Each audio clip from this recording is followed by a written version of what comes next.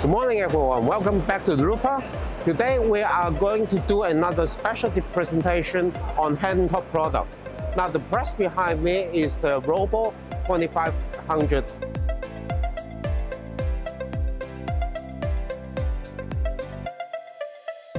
and I'm going to give the introduction to my colleague Sunny Ren. She's going to introduce a little bit more in detail about the machine. Hi everyone, this is Sunny. I'm mainly in charge of the European market for the UV product line. You can see I'm now at the Drupa exhibition booth.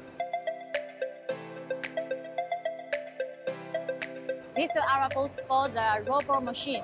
I would like to introduce this demo for you. You can see this is the loading system. We are now printing the cardboard. We can see the stacker pick up the materials now. This is the cardboard printing. The size is 2.5 meters. We can see the printing here. It can support rigid material and also flexible material. For the rigid material, we have the loading and unloading system. If you want to print the flexible material, we can move away the table and print it. Now we are printing the cardboard with six colors. This machine now configured with CMYK LCLM, six colors. We can see it printed with four parts. Okay, let's see the printing. We can see the color and the small details.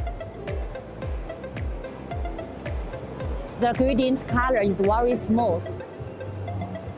And the whole picture printing looks very nature and uh, colorful.